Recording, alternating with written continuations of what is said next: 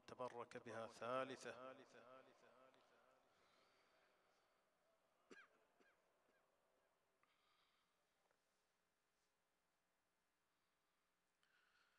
لا حول ولا قوة إلا بالله العلي العظيم.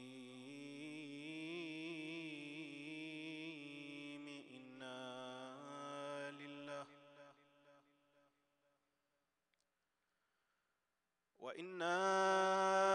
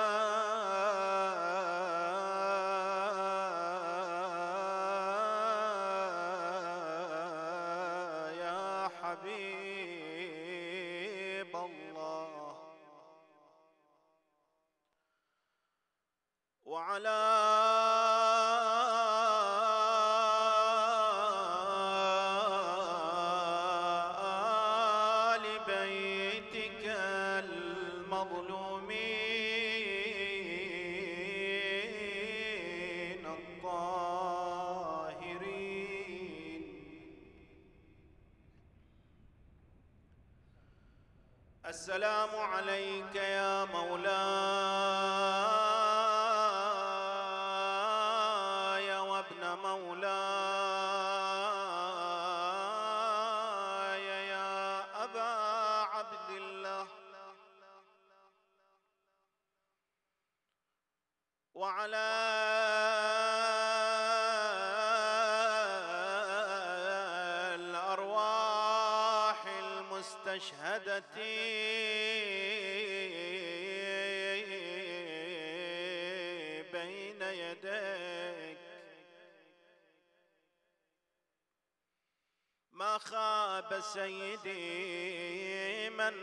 تمسك بكم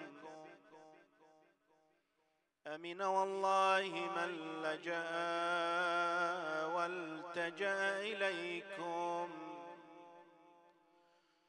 فيا ليتنا كنا لكم الفداء سادتي فنفوز والله فوزا عظيما.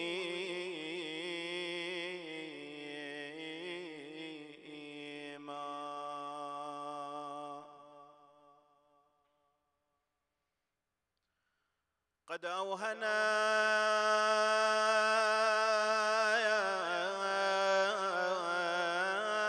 جلد الديار.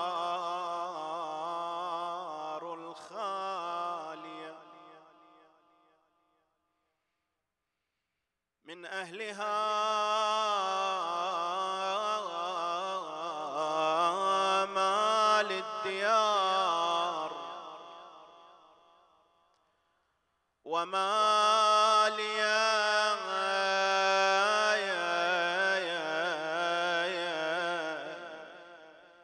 ومعالم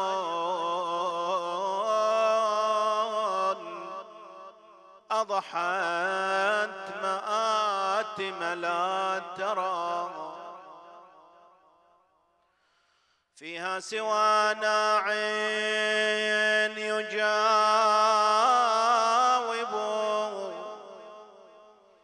ناعيا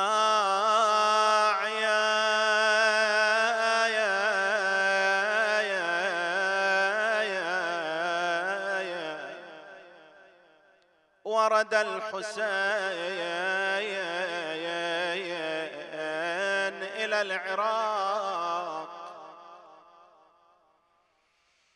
وظنهم تركوا النفاق إذا العراق كما هي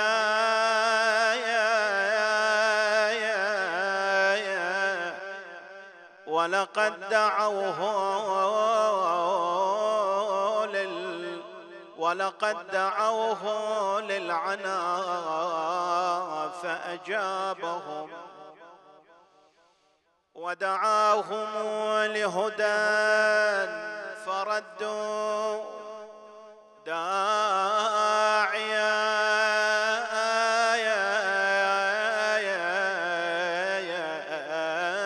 يا ابن النبي المصطفى ووصيه. وأخزك يا ابن البتول الزايا.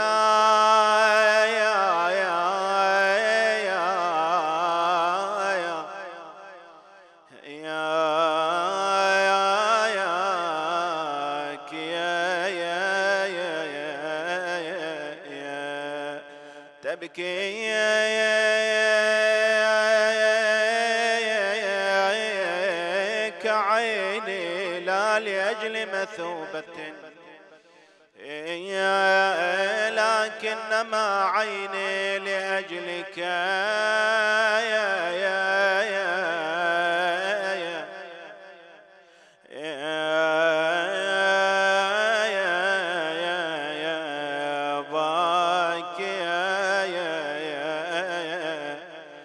تبتل منكم يوم كربلاء بدم ولا تبتل مني بالدموع.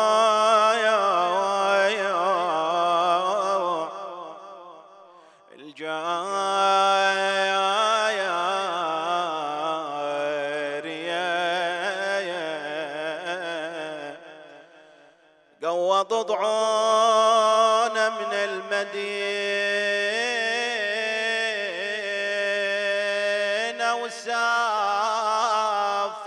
حسين آه خايف من خلفه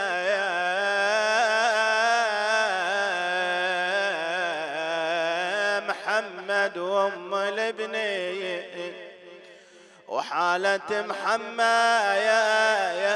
يا خلق تشجيل أعادي مشقوق جبه ويلطم الهامة وينادي يا حسين للسوق الضعايا بفادي وكل ما تلوم الناس يصفى جراح اليدين نشفت دمعته من الوجه وكل ما نهض طايح وكل ما يسلونا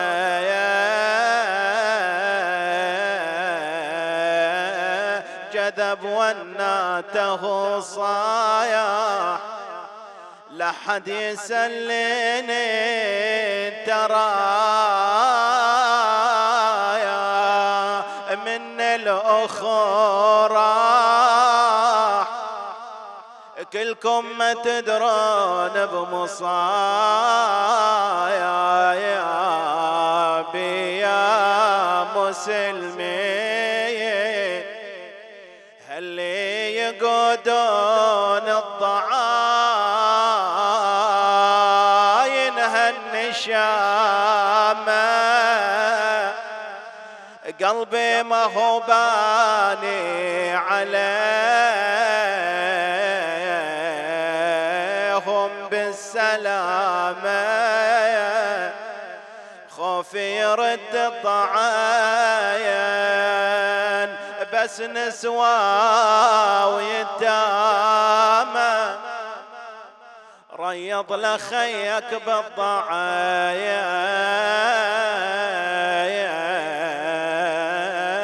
يا قرة العين. حسين سلطان البلد. لا عزم يشيل يشيل تطلع الناس تطلع الناس تشيع وتسرج. على الخيل على الخيل. وانت يا سلطان المدينة طالع بليل.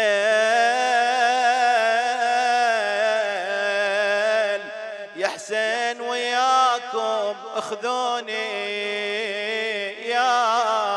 العين. والله تتنامس بنصرك يا أبو سكنه أجانب وأنا نصيب الحزن ومقاس المصايب. قاست نهوال الجمال. ويا مصفي. لكنما الأمر والمرجع لله والعاقبة للمتقين.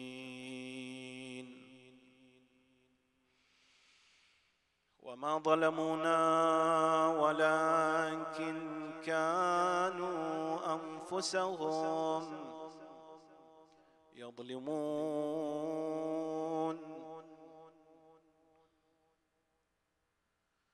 قال الحكيم في محكم كتابه الكريم.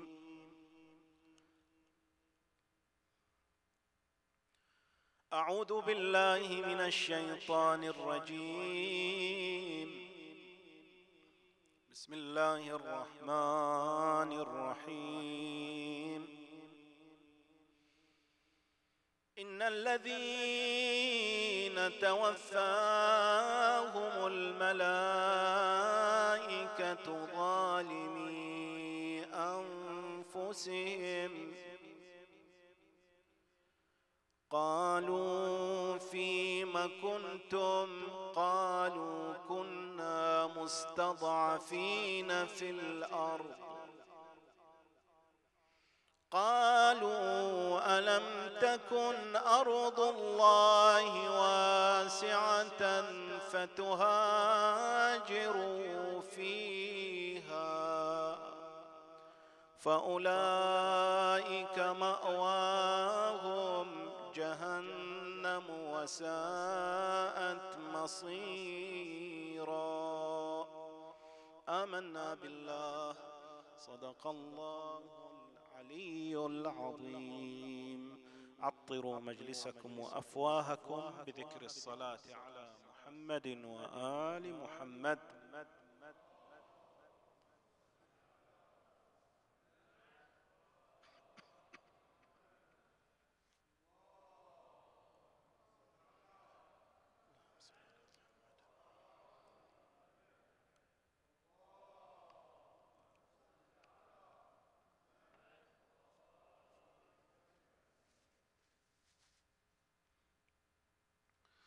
الهجرة موقف وجهاد. هذا موضوع حديثنا لهذه الليلة وعلى ضوء هذه الآية الكريمة سوف نمر على بعض من تلكم الدروس البليغة القرآنية التي حوتها هذه الآية المباركة.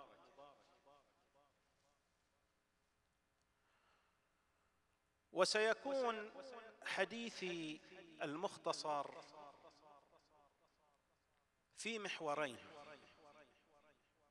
المحور الأول أمر فيه على أهم المفاهيم القرآنية التي جاءت في الآية المباركة. والمحور الثاني سوف أتطرق فيه إلى نوعي الهجرة. وسوف أقدم لهذين المحورين مقدمة في سبب نزول هذه الآية المباركة. أما المقدمة لهذه لهذين المحورين في سبب النزول ذكر المفسرون حينما يتعرضون إلى هذه الآية المباركة أن هذه الآية وهي قوله تعالى إن الذين توفاهم الملائكة ظالمي أنفسهم قالوا فيما كنتم قالوا كنا مستضعفين في الأرض إلى آخر الآية الشريفة. قالوا أن سبب نزول هذه الآية هو أن النبي محمد صلى الله عليه وسلم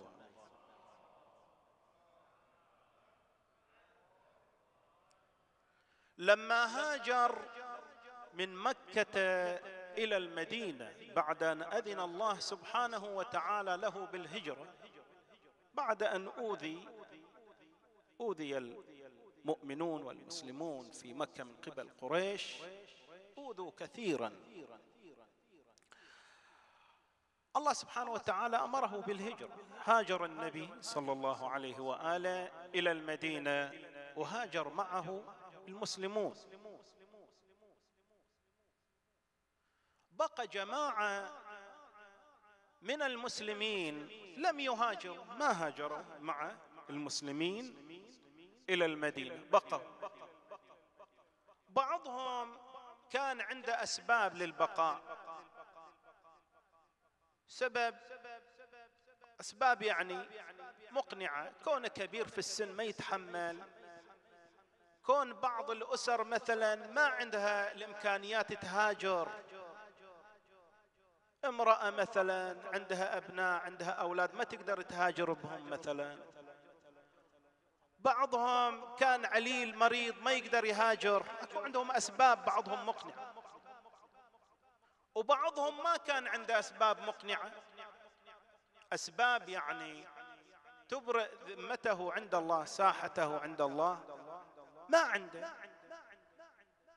كونه مثلا والله عنده أموال في مكة ما يقدر يفارق هذه الأموال. عنده عقار عنده التزامات مالية مثلا عنده عنده.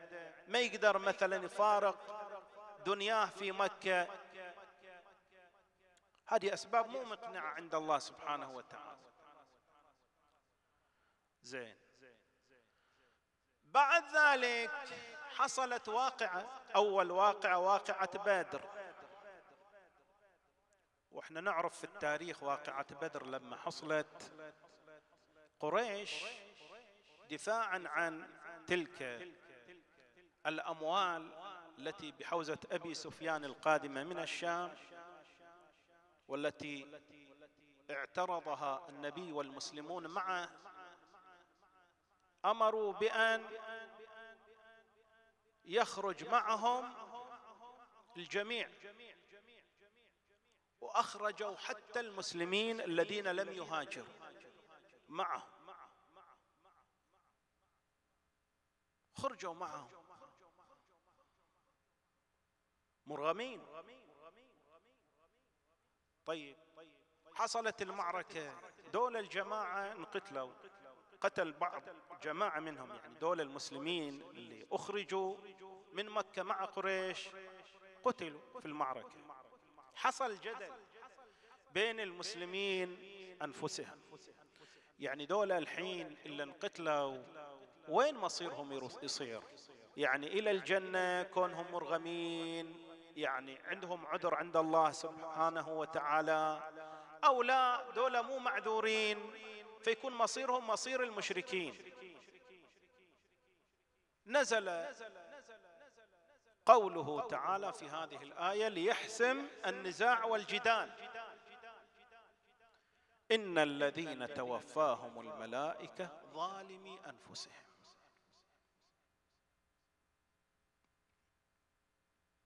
قسمت دول اللي انقتلوا إلى قسمين. قسم ظلموا أنفسهم. وقسم ثاني اللي استثنتهم الآية إلا المستضعفين من الرجال والنساء والولدان الذين لا يستطيعون حيلة ولا يهتدون سبيلا. فأولئك عسى الله أن يعفو عنهم وكان الله عفوا غفورا. أكو ظالمي أنفسهم وأكو مستضعفين.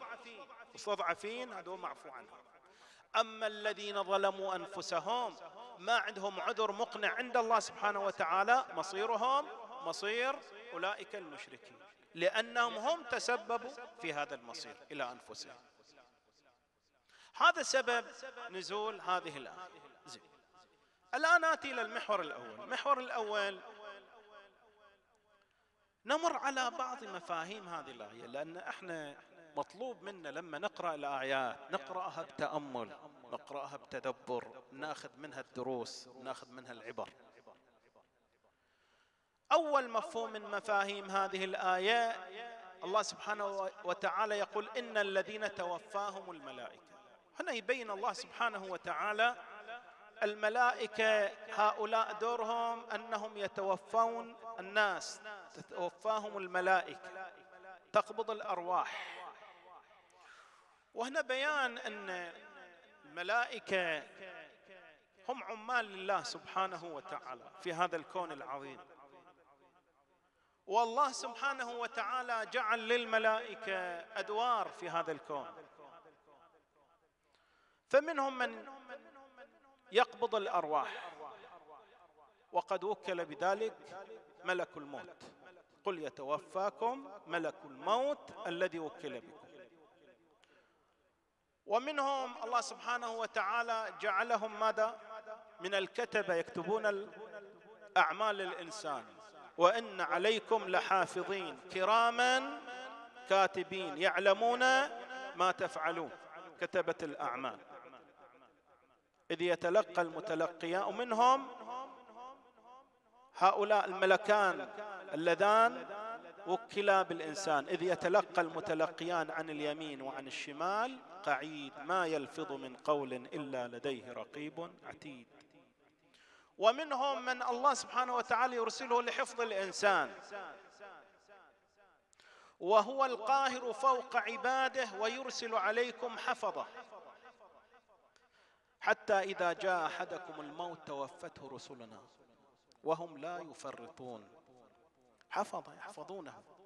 في آية أخرى يحفظونه من أمر الله.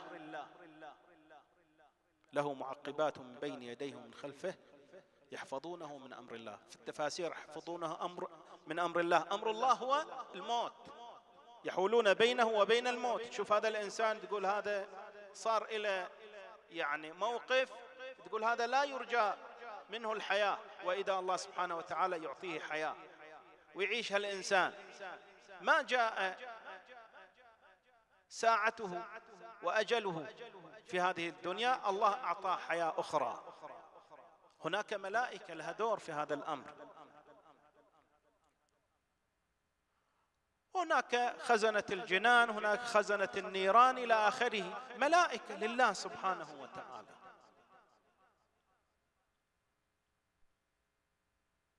امام الرضا سلام الله عليه. يوم واحد يجي إلى يقول له يا مولاي أكو الناس يرون هذا الحديث عن جدك رسول الله. قال ما هو؟ قال أن الله ينزل في ليلة الجمعة في الثلث الأخير من الليل فيقول هل من تائب فأتوب عليه هل من مستغفر فأغفر له. الإمام الرضا عليه السلام قال كذبوا على جدي رسول الله.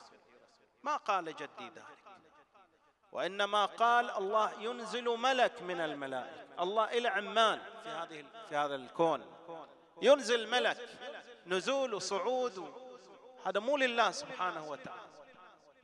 هذا الفعل فعل ممكن الوجود لا واجب الوجود. الذي يستحيل عليه ماذا؟ يصعد وينزل لأنه منزه عن ذلك. زين. المفهوم الآخر نسبة الإماتة إلى الملائكة. إن الذين توفاهم الملائكة نسبة الإماتة إلى الملائكة. إحنا نشوف في القرآن أحيانا أن نسبة الإماتة إلى الله سبحانه وتعالى. فقال تعالى الله يتوفى الأنفس حين موتها. وقال تعالى والله خلقكم ثم يتوفاكم. نسبة هنا الإماتة والوفاء من الله للإنسان. طيب كيف نجمع بين هذا القول لله سبحانه وتعالى وبين تتوفاهم رسلنا؟ توفتهم رسلنا. يتوفاكم ملك الموت. كيف مر الله سبحانه وتعالى الله يتوفى الأنفس وهناك يتوفاكم ملك الموت. القرآن ما في تعارض. ولو كان من عند غير الله لوجدوا فيه اختلافا كثيرا. الله سبحانه وتعالى أنزل القرآن وهو المنزه عن الاختلاف والتعارض. اذا شلون نجمع بين هذ هذين القسمين من الآيات؟ نجمع بينهم أنه في نسبة الإماتة إلى الله سبحانه وتعالى باعتبار أنه الفاعل الحقيقي. المؤثر في هذا الكون هو الله. ألا إلى الله ترجع الأمور تصير الأمور. الله سبحانه وتعالى ترجع إليه كل الأمور كل الأفعال. لأنه هو المؤثر والفاعل الحقيقي.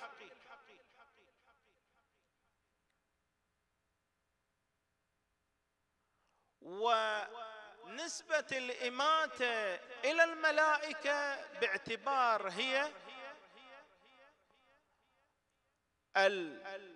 المؤثر بالعرض لأن أمرها من الله سبحانه وتعالى. فهي المباشر إلى الفعل المباشر إلى الفعل. مثل ما أنت تقول بنى فلان بيته. هو بناه يعني بإيده؟ لا ما بناه بإيده. باشروه العمال ولكن بأمره. ينسب البناء إلى صاحب البناء وينسب أيضا إلى العمال الذين قاموا بالبناء. لا تعارض في ذلك. زين. المفهوم الثالث. قوله تعالى ظالمي أنفسهم. ظالمي أنفسهم. الظلم كما يقول علماء الأخلاق ثلاثة. ظلم لله سبحانه وتعالى. يصدر من الإنسان في حق الله. وهو أشد أنواع الظلم. ما هو؟ هو الشرك بالله والعياذ بالله. في سورة لقمان إحنا نقرأ قول الله سبحانه وتعالى لا تشرك بالله إن الشرك لظلم عظيم. هذا الظلم العظيم من الإنسان في حق الله أن يشرك بالله. سبحانه وتعالى. والنوع الثاني من الظلم ظلم الناس. ظلم الناس. إنسان يظلم إنسان. إياك الحق. يظلمه في قول في فعل. في أي أمر من الأمور. يظلم. هذا النوع من الظلم ظلمات يوم القيامة. وهذا النوع من الظلم اللي فيه حقوق للناس من أنواع الذنوب التي لا يغفرها الله سبحانه وتعالى لصاحبها إلا أن هو يبادر بإبراء ذمته من الناس. لأن هذا حقوق البشر حقوق الناس.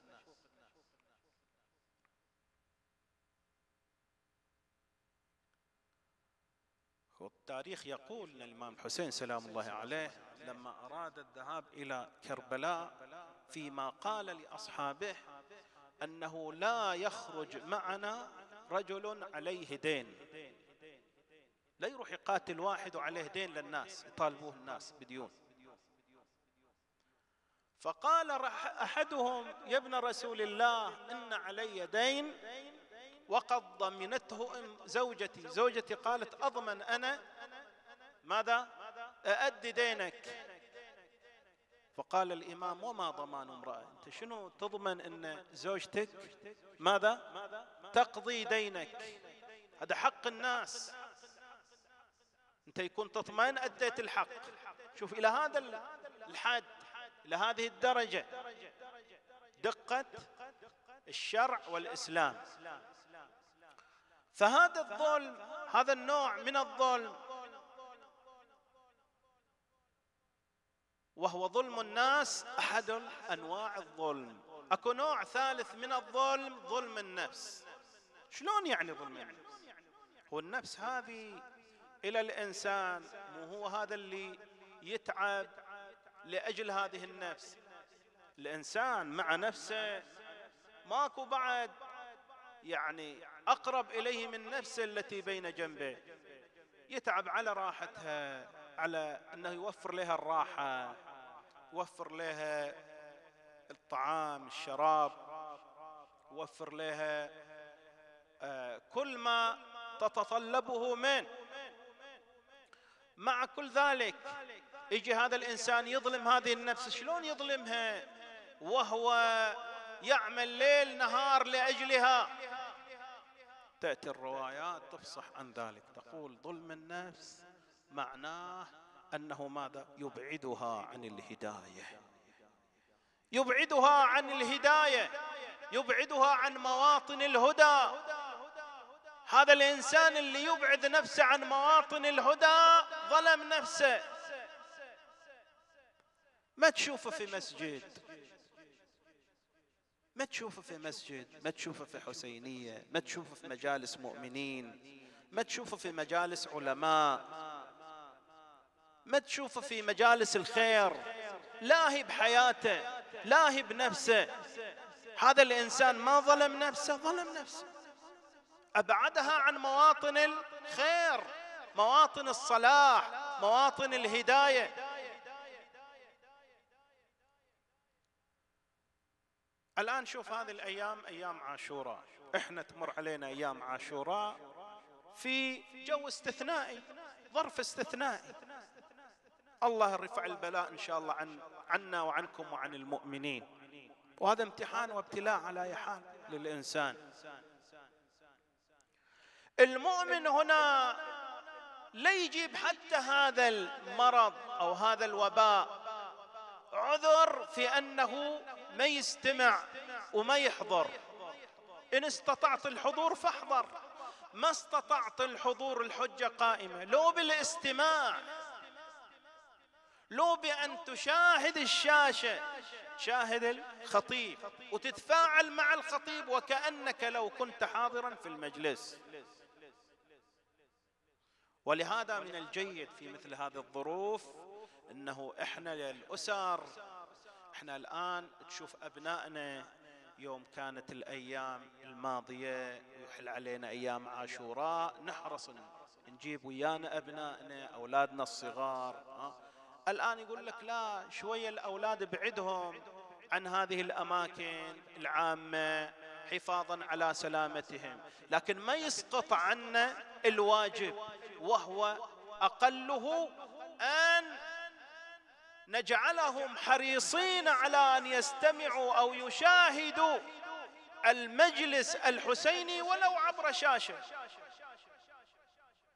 من الجيد أن الواحد يكون يجعل إلى اهله اسرته أبنائه ولو ساعة في اليوم يعلمهم على أن هذه الساعة تجتمعون على الشاشة وتشاهدون الخطيب وتتفاعلون معه كما لو كنتم حضورا في مجلس عزاء أبي عبد الله الحسين. ويكتب لكم المجلس إن شاء الله.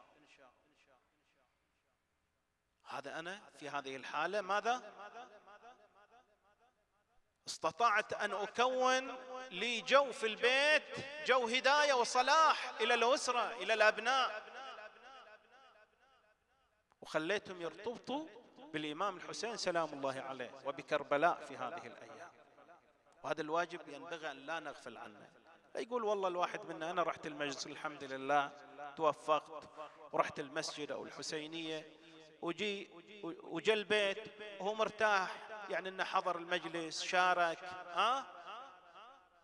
وما يهتم بالأسرة ما يهتم بالأبناء وكذا. لا أنت الآن كمل مشروعك الحسيني حتى في أسرتك. أرجع إلى الآية المباركة. فظلم النفس اذا هو إبعادها عن مواطن الهداية والصلاح. زين. المفهوم الأخير في هذا المحور أكو درس في الآية عبارة عن درس بليغ في الآية المباركة. هذا الدرس نأخذه من الحوار اللي صار بين الملائكة وبين هؤلاء. هؤلاء لما سألتهم الملائكة ألم تكن أرض الله واسعة فتهاجروا فيها؟ دول لما قتلوا في المعركة والملائكة توفتهم وصار هالحوار أنتم وينكم؟ ليش ما هاجرتوا ويا المسلمين من مكة إلى المدينة وليش بقيتوا في مكة؟ أجابوا كنا مستضعفين في الأرض. يقولون أهل التفسير والتدبر يقولون هذا الجواب هذا الجواب ليس جوابا مقنعا وإنما هو جواب تبريري. جواب التبريري لا ينفع الإنسان. هذا هو الدرس. كثير إحنا من أحيانا نقع في الاخطاء. والانسان معرض للخطأ. الخطأ سواء كان في حياته الاجتماعية سواء كان في حياته الأسرية. ايا كان هذا الخطأ. الخطأ مع نفسه. زين. هذا لما يلام سواء نفسه تلومه نفس لوامة تلوم صاحبها أو أحد يلومه الطرف الآخر يلومه. تشوف هذا الإنسان يسارع إلى التبرير هذا هو العادة عند الإنسان. يبرر عمله يبرر إلى أخطائه. فلان أنت ليش مثلا ما تقترب من أهل الصلاح؟ هو بدل ما يقول والله أنا مقصر أنا يفترض أقترب يفترض مثلا أغير من هذه الأجواء التي أنا عليها يفترض أكون لي الجماعة الصالحة والبيئة الصالحة ها اللي تعيني على ديني ودنياي وآخرتي روح يهاجم المؤمنين. يقول دولة أهل نفاق. دولة ما عليك منهم دولة كذا كذا كذا فيبرر إلى نفسه حتى لو كان بالتهجم على أهل الخير والصلاح والمؤمنين. هذا من وساوس الشيطان مع الأسف.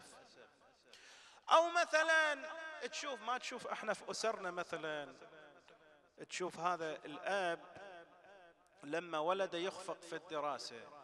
ولدي ليش أنت مثلا أخفقت في الدراسة؟ ليش أشوفك مثلا متأخر في الدراسة مو مهتم؟ ما يرجع هذا الولد إلى نفسه يقول والله أنا مقصر وكذا وإن شاء الله أعدك وكذا وكذا. تشوفه يروح إلى مبدأ التبرير يقول والله أنا مثلا بسبب المدرس الفلاني. هذا ما يعرف يدرس. المدرسة كلها مشاكل ما تخلي الواحد يركز. ويرميها على هذا وهذا ويطلع نفسه من السالفة. هذا يسموه مبدأ التبرير. هذا مبدأ التبرير لا يحل مشكلة أبدا للإنسان وإنما يجعله دائما متأخر. تشوف هذا الزوج مع زوجته أخطأت الزوجة صارت تبرر إلى خطئها أنه بسبب فلان. هو المقصر هو كذا هو كذا. أخطأ الزوج ما يرجع إلى نفسه يقول أنا أخطأت أنا قصرت. يقول بسبب فلانة هي كذا هي كذا. فيصير كل واحد يبرر إلى نفسه. هذا يحل مشكلة؟ ما يحل مشكلة. التبرير إلى المشكلة لا يعالج مشكلة ابدا وإنما يجعل الإنسان ماذا؟ مستمر على خطأه. هنا القرآن يريد يعلمنا يقول لا تبرر إلى فشلك لا تبرر إلى خطأك لا تبرر إلى مشكلتك وإنما ارجع إلى نفسك. وعالج المشكلة من خلال ماذا؟ من خلال نفسك أنت. زين حتى لا أطيل عليك. صلوا على محمد وآل محمد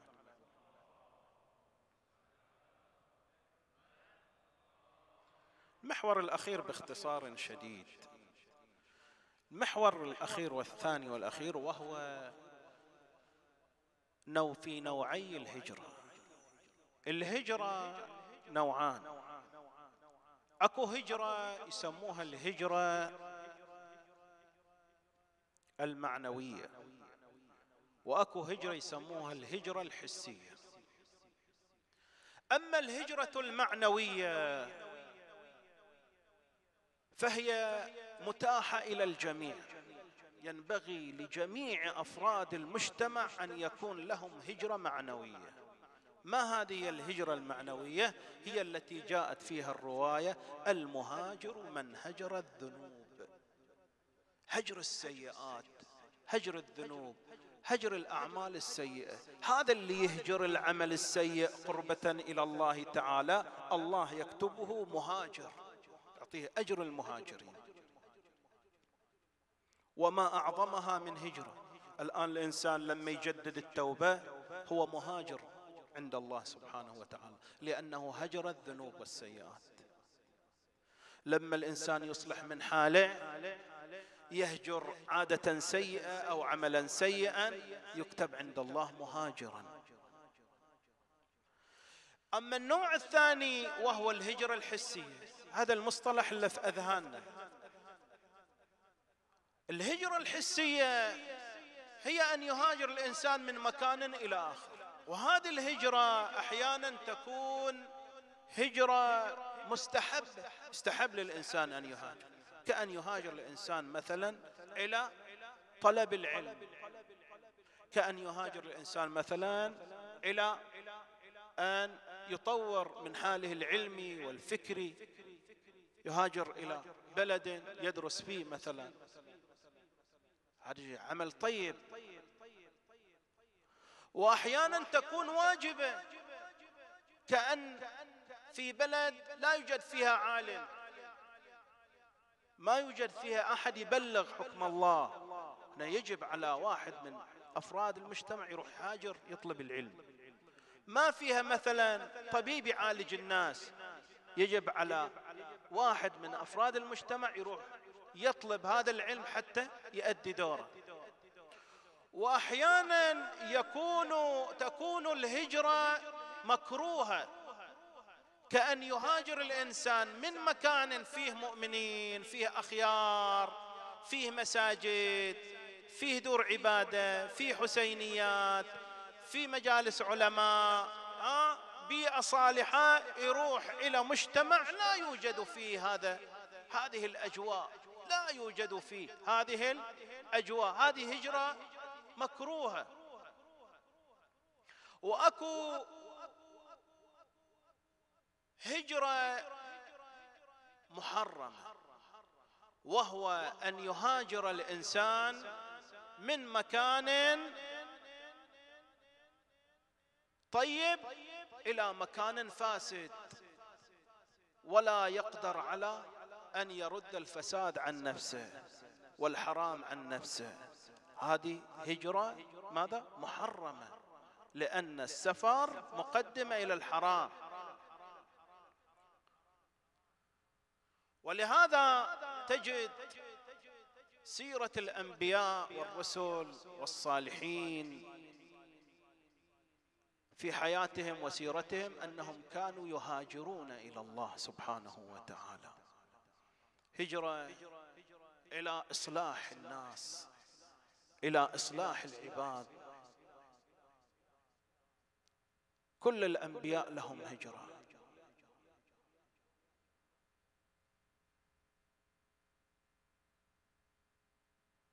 وكل الصالحين لهم هجرة. ومن أعظم تلك الهجرات التي كان للدين وللشرع أثرها العظيم هي هجرة الإمام الحسين سلام الله عليه. يخرج مهاجر إلى الله سبحانه وتعالى. من أجل ماذا؟ من أجل إصلاح الفاسد من أمر الناس.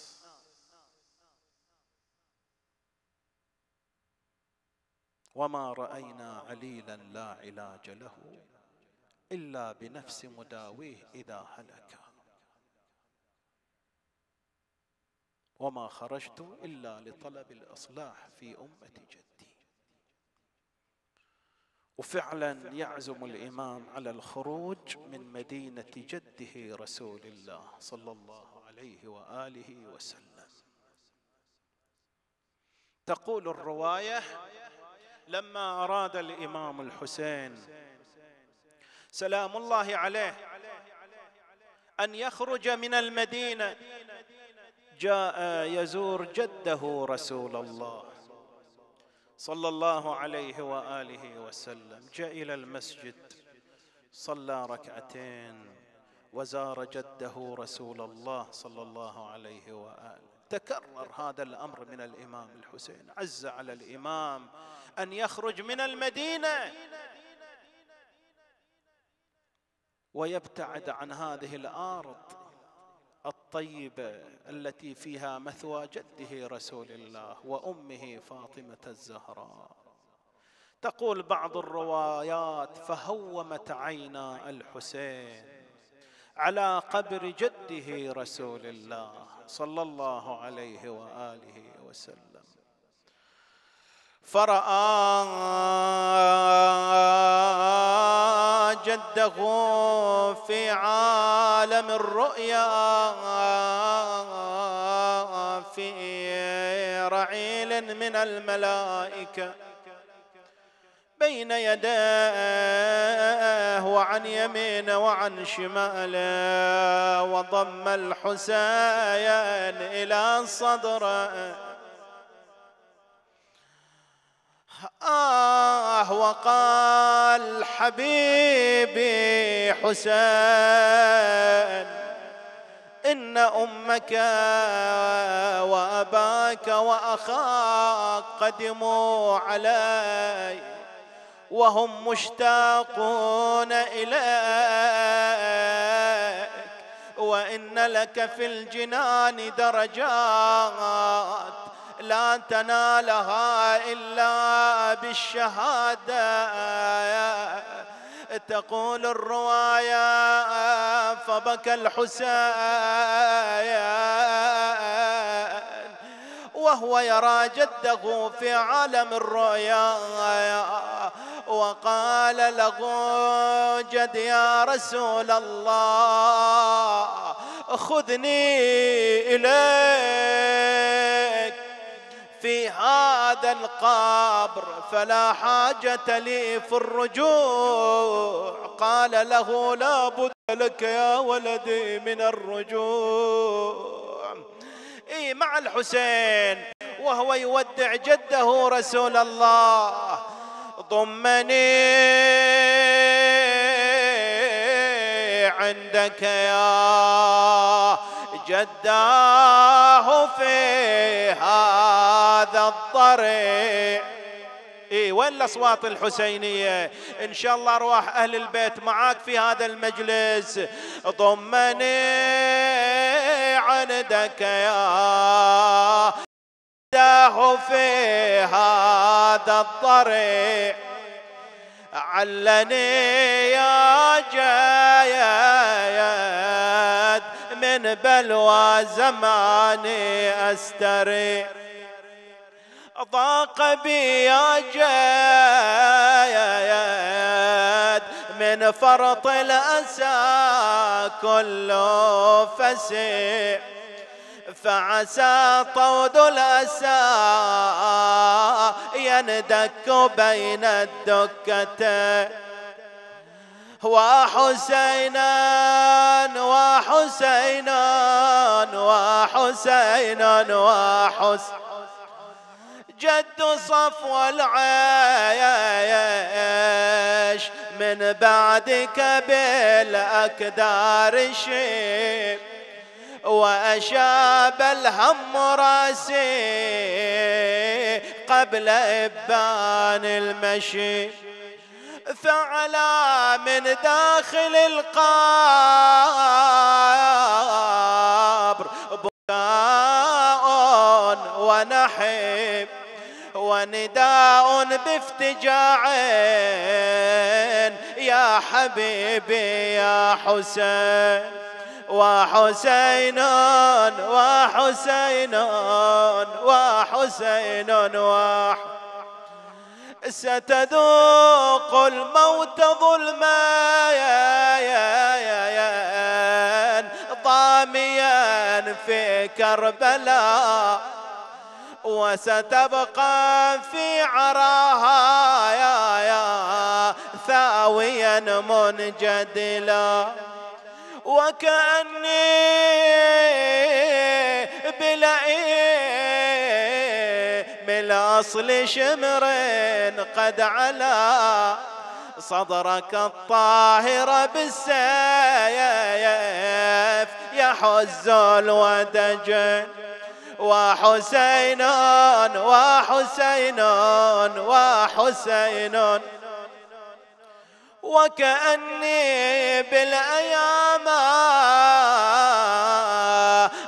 بناتي تستغي صارخات نادبات وقد عز المغي. قد برا أجسامه من الضرب والسير الحثي. بينها السجاد بالأصفاد مغلول اليدين.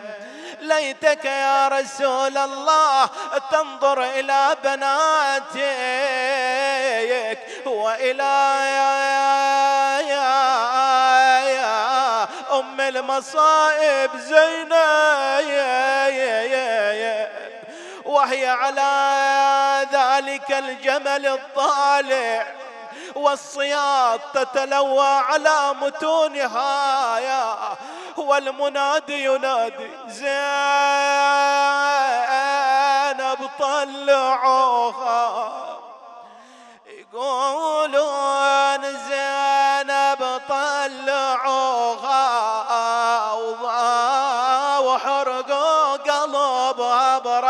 براس خوخا ولمن بجت بالصوت تضربوها سب الزكية وابوها آه وكأني بزينب وهي على تلك الحال وهي تشكو الحال إلى أخيها الحسين. يلا اليوم نعم هم دمعة عدنا على زينب. أوالي أوالي أنا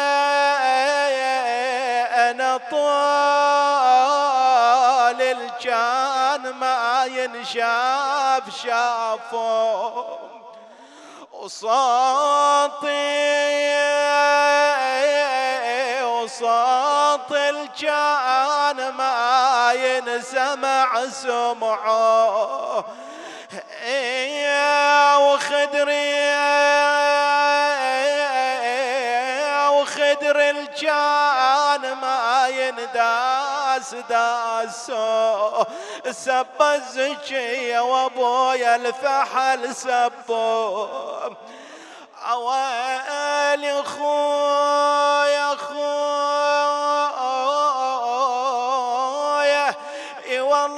طبينا المجلس وفي ناس وفي ناس متجمعة ومن كل الأجناس.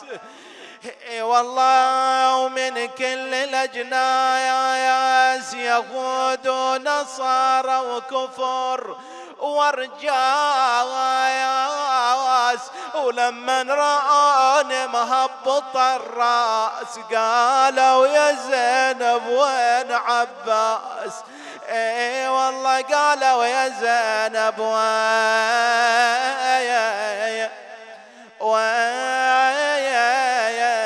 عباس؟ ختام هذا المجلس ختام المجلس هذا البيت.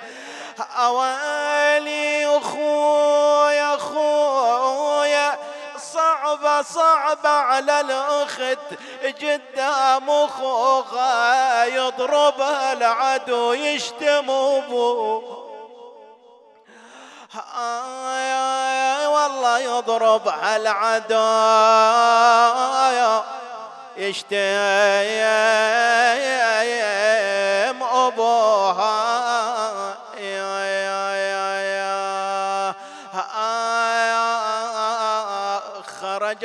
الحسين من المدينة خائفا كخروج موسى خائفا يتكتم وقد انجلى عن مكة وهو ابنها. تشرفت الحطيم وزمزم. إلهي نسألك وندعوك بالحسين الوجيه وجده وأبي أمي وأخي والتسعة الأئمة المعصومين ذريته وبين اقضي حوائجنا. يا الله يسر أمورنا نفس همومنا فرج كروبنا شافي. مرضانا جماعتي الحاضرين احفظهم فردا فردا ومن يلوذ بهم المؤسسين تقبل أعمالهم أوسع في أرزاقهم اقض حوائجنا وحوائجهم يسر أمورنا وأمورهم وإلى أرواح موتانا وموتاكم المؤمنين وأرواح العلماء وإلى روح من الراحل وأرواح جميع مراجعنا العظام ومن مات على الإيمان. نهدي للجميع ثواب سورة الفاتحة مع الصلوات.